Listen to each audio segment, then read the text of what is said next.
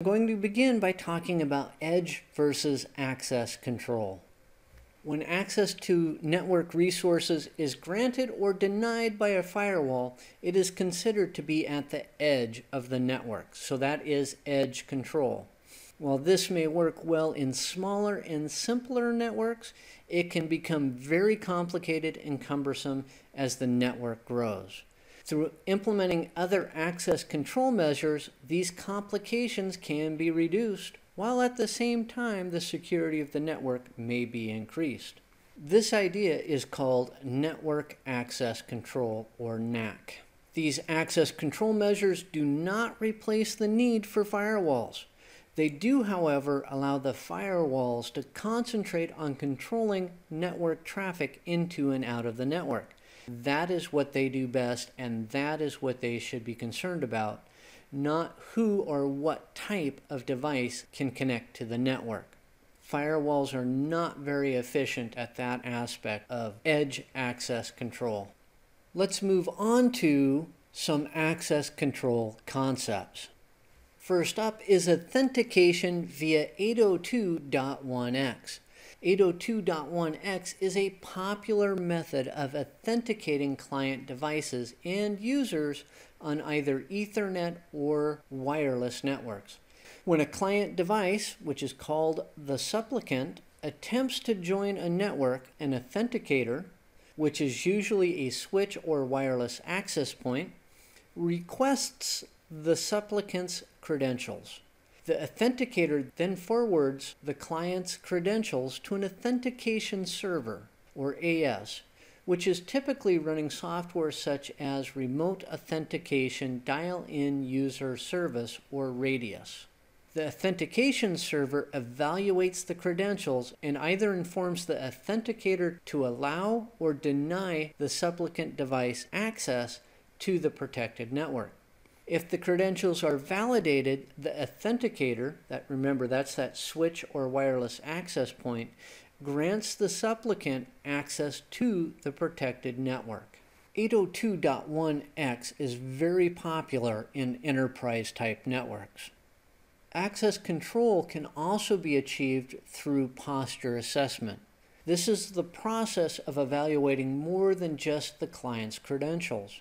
Commonly, posture assessment is used to evaluate the type of device that is requesting a connection.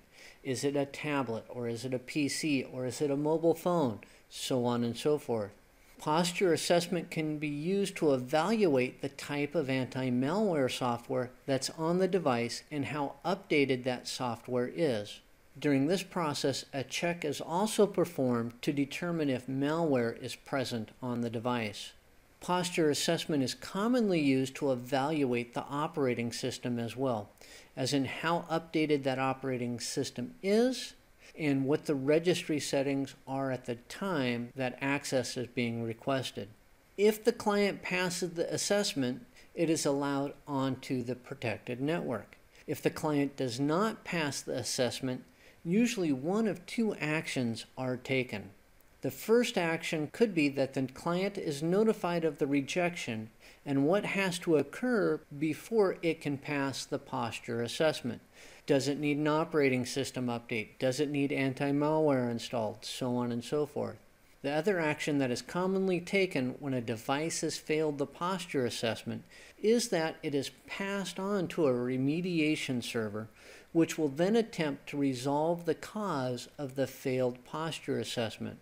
It will do this with no user interaction required. Once it has remediated the device and it can pass the assessment, it then goes through the process again and is allowed onto the network if it passes. It's time to move on to the posture assessment process. One of two types of agents, think software code, is used on client devices during the assessment process. It could be a persistent agent, which is permanently loaded on the device and starts when the operating system loads. This type of agent can provide more functionality than the other version. A persistent agent is more likely to be used if that device regularly connects to the network. The other type of agent is a non persistent agent.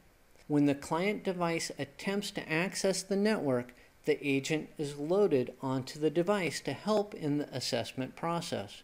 Once the assessment process is completed, pass or fail, the agent is removed from the device. A non persistent agent would work best for a guest device.